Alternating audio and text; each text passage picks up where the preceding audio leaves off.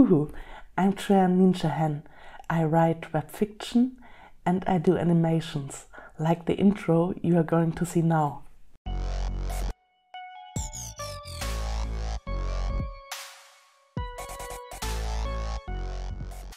This series is about copying books. I want to advance my level in writing. I want to become a better writer and better author. A friend suggested to me that you can learn a lot by copying classics. He is a composer and he said that composers use old masterpieces to hone their craft and learn more about the artistry and the craftsmanship that go into them. And I know about uh, visual artists, painters that have done the same. They redrawn classical pictures, and I thought, uh, or I thought, and he suggested it, that uh, I try the same um, with books. Yeah, so I decided to make this series. I will copy some masterpiece, masterpiece, what I see as a masterpiece, and will analyze what I learned from it or what there is to learn from it or what impressed me, what didn't impress me, or just what approach the author did take. I'm very much looking forward to what I'm going to learn and I take you on this journey with me. In this first episode, we will choose a book. Alright, so let's browse my Audible for a good book which can be dictated to me. I'm still reading Newsletter Ninja, I'm still not finished it. So stay tuned for my newsletter coming soon. Uh, of Magic wasn't a page turner, and I wanted to learn from someone who really can capture me and really just wanted to make the pages turn or never stop listening in case of an audiobook. Um, maybe I should write this down. Then it should be a current. I mean, I love the Horatio Hornblower series, but I just don't know if it isn't too old. And I've got a Heinlein book as well, Starship Troopers. At the moment, that's for me a real contender. No, no, no, no, no, no, no, no. The series from Michael Chatfield was very good, mm, but it isn't the height of gripping, let's say this way. These are translated books from Russian. Do I want to uh, write a translation or copy a translation? I don't know. I stopped listening to this book, so it couldn't be that gripping. Hmm, no, no, no, no. Crime and Punishment, another translation, and definitely not. Okay, Ernest Cline, I very much like his writing style. That's the author who wrote Ready Player One, and I can recommend Armada as well, but it had its length. Hmm, let's add it far on the bottom. Greek Myth, yeah, Robert Galbraith is the pseudonym of J.K. Rowling, and I very much like the Cormoran Strike series. But book four wasn't the best book, I would say. Maybe we'll see if I got some other books from Rowling in audio format. Oh, I hope I do. But I've got two credits, so I can buy at least one book or at least two books. But yeah, J.K. Rowling, that would be great. Bobby Bobiverse was alright as well. I stopped reading the series. This book is great. If you're depressed, read this book. The world is much better than we think and why things are better than you think. This is really difficult, a difficult title for Germans to pronounce. This was the worst audiobook adaptation I've ever listened to. I think there are worse out there, but the MC has a Russian accent. I mean, the whole book is from the perspective of the MC, and the Russian accent of the speaker wasn't that convincing, so it was fairly cheesy. Do you want to listen 13 hours to a fake Russian accent?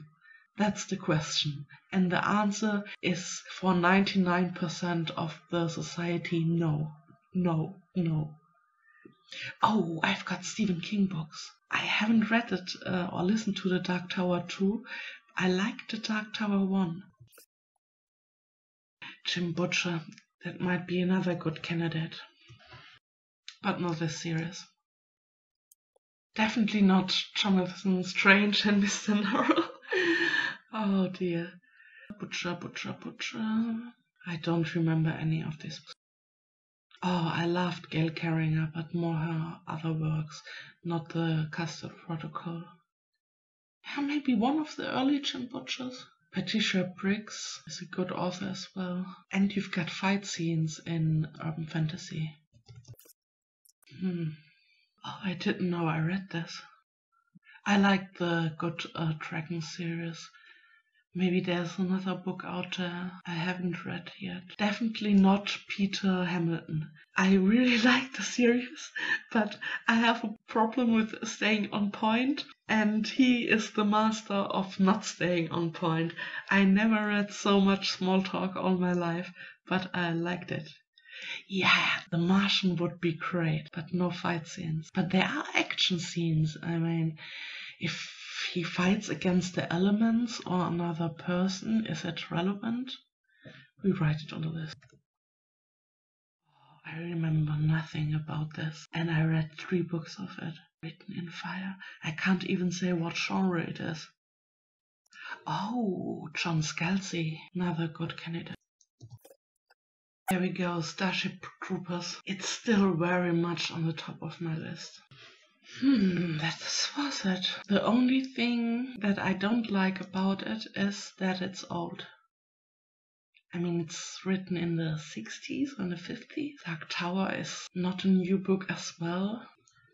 Honestly, these are my three candidates. I mean, I could buy a Harry Potter book maybe the first one. I don't like the first one the most.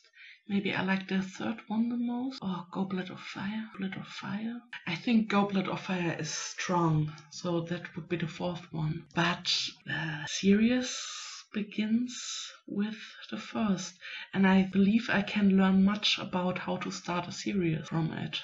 The Martian. And The Martian is multi-POV. I dislike multi with POV I mean POV point of view. Starship. Oh well, I own Starship Troopers, so let's just try it. Right. One. Come on, you apes. You want to live forever? Unknown platoon sergeant. 19. Too fast, too fast, too fast. Stop, stop, stop, stop. Oh shit. Yes. oh no, you can't make it any slower. Shitty, shit, shit. One. Come on, you apes. You want to live forever? Unknown platoon sergeant. 1918. I always get the shakes before I drop. I've had the injections, of course the hypnotic preparation, and it stands to reason that I can't really be afraid. This doesn't work out. It's too fast. Oh. Okay, one more try. I always get the shakes before I drop. I've had the injections, of course, the hypnotic preparation, and it stands to reason that I can't really be afraid. The ship psychiatrist has checked my brain waves and asked me silly questions while I was asleep. And he tells me that it isn't fear. Okay, I think we can lay this approach to rest. Hmm. Let's open up Kindle. Okay, first, I've got uh, Starship Troopers on my Kindle as well. Good so far. Now I have more titles to choose from, but we started with Starship Troopers, so why not stay with it? What I like about it is that I have the punctuation. Punctuation. I can't even pronounce it, but you know, all the points and commas and semicolons and this kind of stuff.